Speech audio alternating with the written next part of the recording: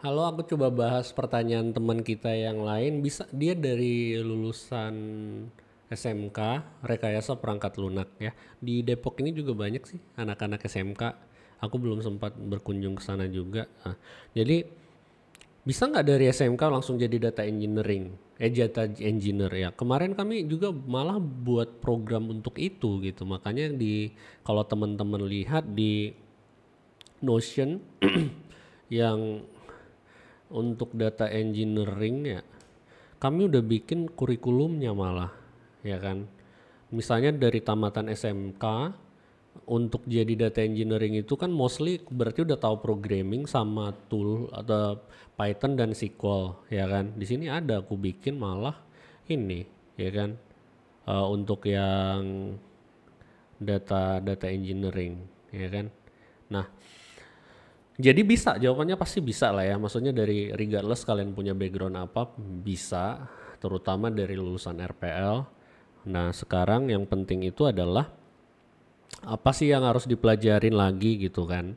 Berarti kalian harus belajar mengenai konsep uh, tools-tools yang ada di big data gitu kan. Karena SMK kan tujuannya adalah siap kerja ya. Jadi uh, vocation gitu. Jadi belajar tools-tools yang memang bisa digunakan untuk big data. Di sini ya paling kalian harus belajar tentang cloud lah ya karena sekarang dipermudah dengan cloud. Terus uh, ini ini udah nggak relevan lagi jadi nggak nggak usah belajar hadup-hadup lagi sebenarnya. Kalian langsung pakai tools-tools kayak Spark dan uh, yang kayak Dremio karena pakai SQL sama Python juga interface-nya kira-kiranya ya kan. Dan uh, kalian bisa langsung belajar airflow ya kan? Jadi uh, ini ada spark spark ya kan? Di sini nanti kalian uh, ini dia spark. Spark apache ya? Apache ya kan? Baru sama Dremio kan? Spark itu kalian bisa pakai SQL Dremio kalian bisa pakai Eh Spark itu oh ya Spark juga bisa SQL sama Python ya. Jadi nggak masalah sebenarnya. Remio. Uh, punya aku dan juga Airflow. Kayaknya itu untuk di awal sudah cukup sih ya kan kalau misalnya mau full code gitu ya tapi kalau misalnya kalian udah tahu ngoding ya pakai uh, approach yang code-nya aja. Kalau misalnya kalian memang uh, pengen pakai tools, di sini juga aku ada bikin uh, untuk pakai tools big data kayak talent gitu-gitu ya. Nanti kalian bisa lihat di sini kalau nggak salah. Ya kan. Nah, ini ini ini ini. Uh, SMK Big Data no code, jadi nggak nggak pakai code ya pakai talent atau yang lain lah ya. Misalnya kayak Pentaho juga bisa.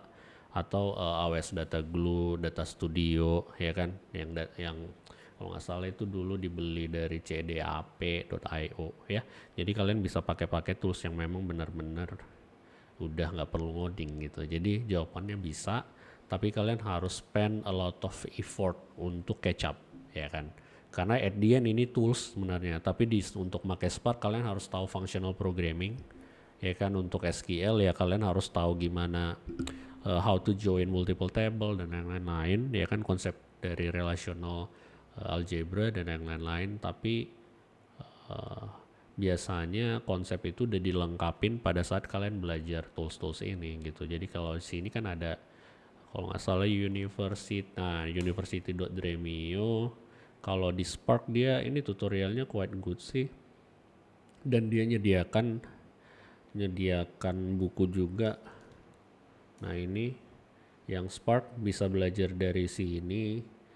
Terus yang Airflow kalian bisa belajar dari sini.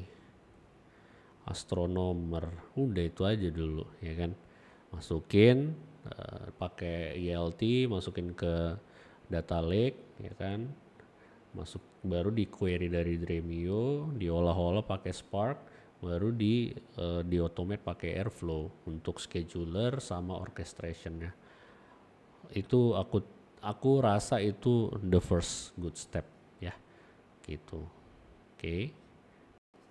Jadi uh, jawabannya adalah bisa ya untuk Syahril Aziz. Thank you.